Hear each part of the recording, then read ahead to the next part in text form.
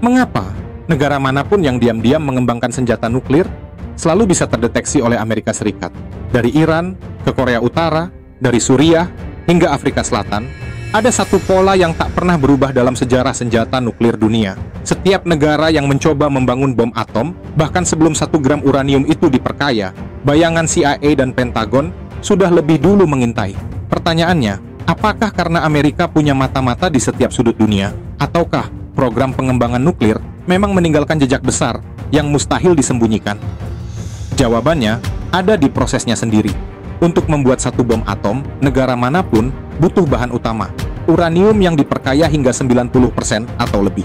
Bandingkan dengan bahan bakar reaktor nuklir sipil yang hanya butuh 3% sampai 20% kemurnian. Masalahnya, di alam, uranium-235, si bahan utama bom atom, hanya ada dalam kadar 0,7% dalam biji uranium. Sisanya 99,3% persen adalah uranium-238 yang nyaris tak berguna untuk senjata.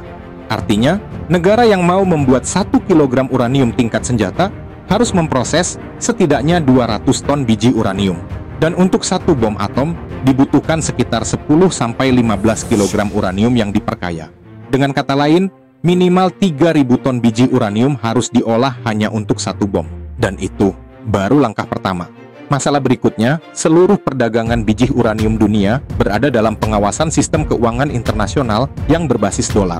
Setiap transaksi, setiap pengiriman akan lewat jalur data yang pada akhirnya berakhir di meja intelijen Amerika. Jadi, ketika sebuah negara kecil tanpa reaktor nuklir tiba-tiba mengimpor 3000 ton uranium, alarm dunia akan langsung berbunyi. Untuk meningkatkan kemurnian uranium-235 dari 0,7% menjadi 90% dibutuhkan ribuan mesin pemisah gas atau centrifuge.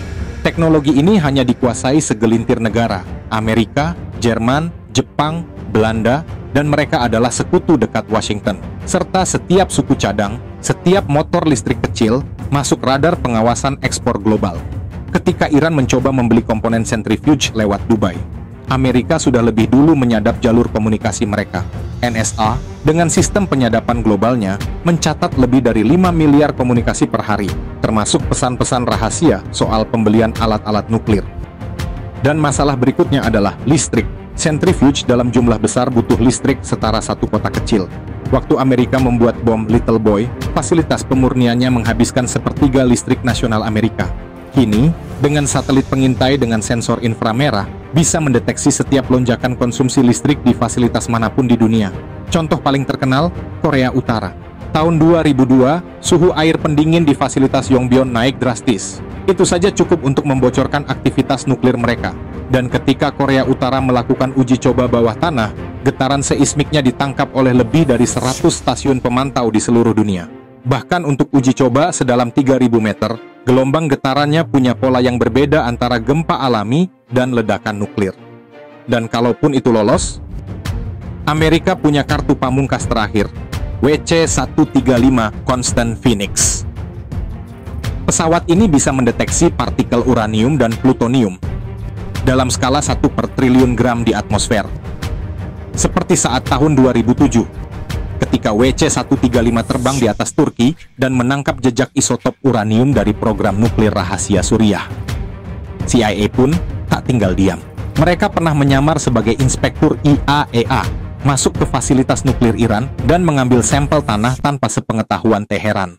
Bahkan, pada tahun 1980-an, CIA berhasil merekrut kepala ilmuwan nuklir Irak yang memungkinkan Israel menyerang reaktor Osirak Sampai hari ini, hanya ada sembilan negara resmi pemilik senjata nuklir. China, India, Pakistan, semuanya pernah menjalani perjalanan panjang penuh tekanan diplomatik, ancaman, dan sabotase sebelum akhirnya berhasil. Bahkan, ketika Afrika Selatan berhasil membuat enam bom nuklir, Amerika langsung menekan. Hingga pada 1989, mereka terpaksa membongkar semuanya dan mengubur komponen nuklir itu dalam beton. Satu fakta yang tak bisa dibantah dalam dunia persenjataan nuklir, rahasia adalah barang paling mahal dan paling mustahil untuk disembunyikan. Di era satelit, radar, dan intelijen modern, dalam perlombaan senjata nuklir setiap langkah, setiap percikan listrik, setiap gelombang seismik bisa menjadi bukti Dan bagi negara-negara yang nekat, mereka akan segera belajar bahwa dalam dunia nuklir tidak ada tempat untuk bersembunyi.